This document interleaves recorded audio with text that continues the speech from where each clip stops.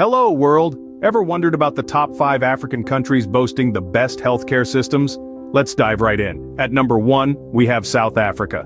It's no surprise, given the World Health Organization, or WHO, has granted it a healthcare index of 63.7. This impressive score is thanks to data gathered from both the public and private health sectors.